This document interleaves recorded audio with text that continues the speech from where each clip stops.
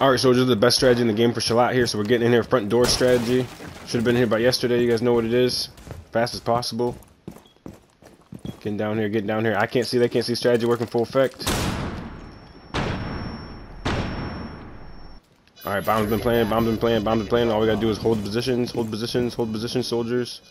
They're trying some tricky strats. It's okay, soldiers. Oh, they're trying to defuse the bomb on us. Let's go. Works every single time. You guys gotta try it.